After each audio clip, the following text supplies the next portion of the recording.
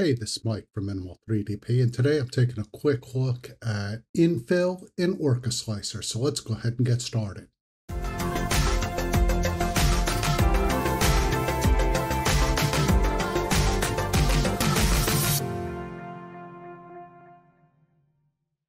This video is brought to you by PCBWay, an awesome prototyping service. I want to thank them for their sponsorship for this video.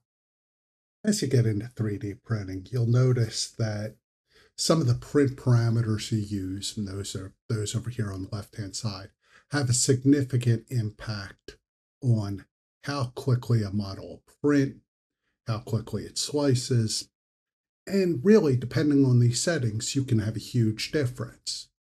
Right now, I have this little cube I generated. Let's center that on the bed. And I've turned it on the infill pattern geoid. If I hit slice plate, you'll notice this has taken a couple minutes to actually slice.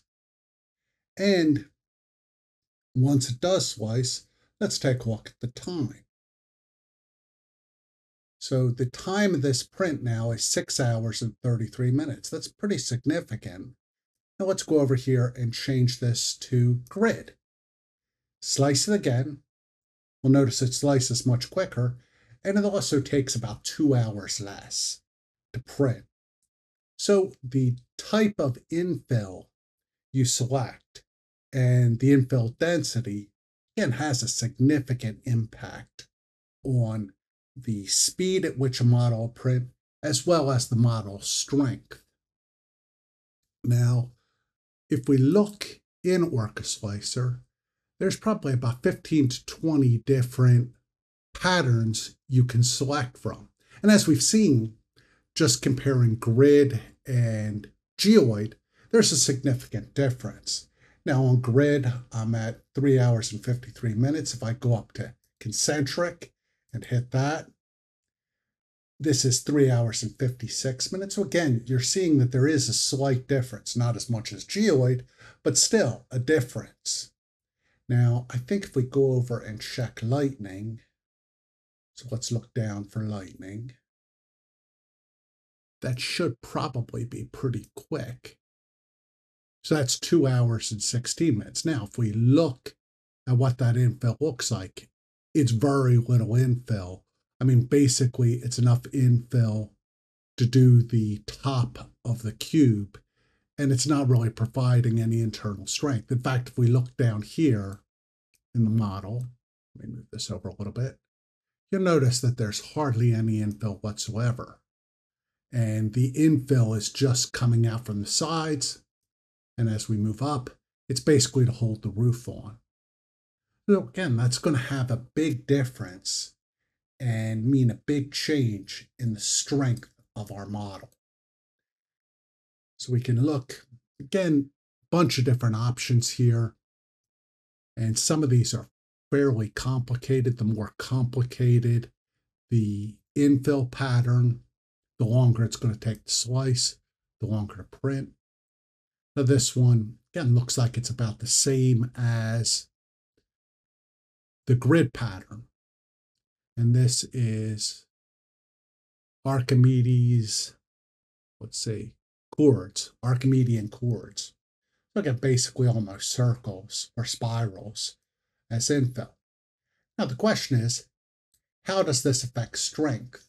And how do we know without doing some testing? Well, it turns out I periodically look at the pull requests for Orca Slicer just to see what's coming up. And I happen to notice down here there was an update to the wiki. When I go over to the wiki, I noticed one of the updates had to do with the infill.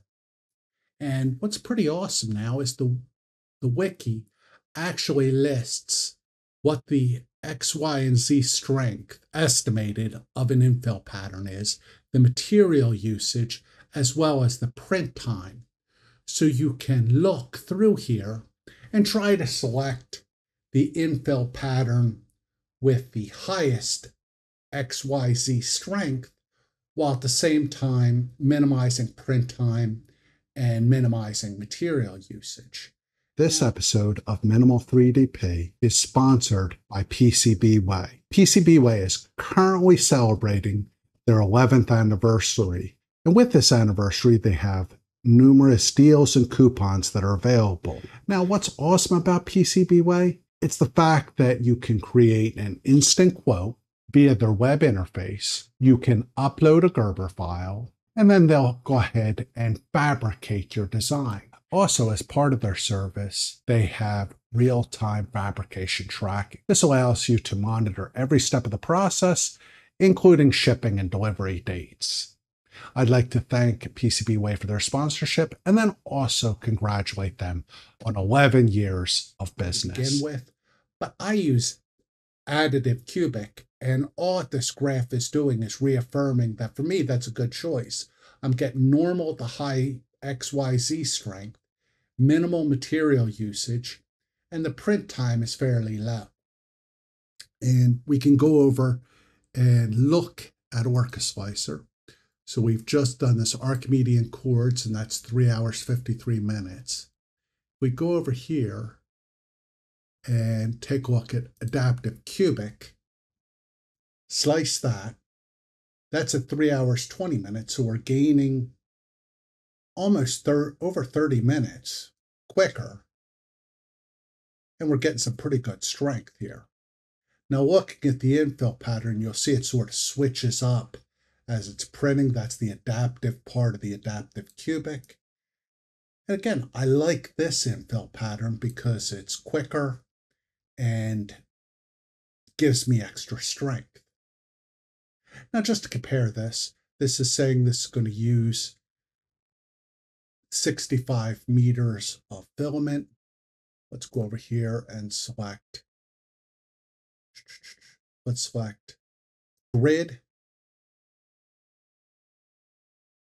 And you can see that's using, taking more time and using a heck of a lot more filament. So that's using about 13 meters more just by changing the infill pattern. So one of the things you need to look at and I would recommend is opening up the Orca Slicer Wiki and taking a look at these various infills and try to identify the infill pattern that's going to work best for you. And looking through this, there, there are some awesome ones. Crosshatch looks good. Some of the honeycombs look good. And again, for me, which my default is adaptive cubic, that looks like that's giving me the properties I really want. Now I'm going to scroll down here and just point out that if you're really interested in this, they have detailed descriptions of each different infill pattern. And let's click on adaptive cubic. And you can see you could read about it. And also, we can see if you scroll to the very bottom of the chart here, you can download the Excel sheet that was used to calculate how each of these filaments or each of these infills ranked. So this is a great new tool for you to look at and try to use to determine what's the best infill pattern for your model. Hopefully you found this helpful. If you have any questions or comments, please post below. Feel free to share or subscribe. Anything you do will help the channel grow. Again, I appreciate your time. Hope you have a great day.